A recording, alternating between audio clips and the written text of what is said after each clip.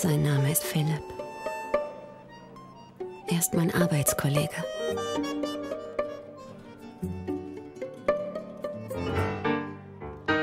Wir werden beide Karriere machen.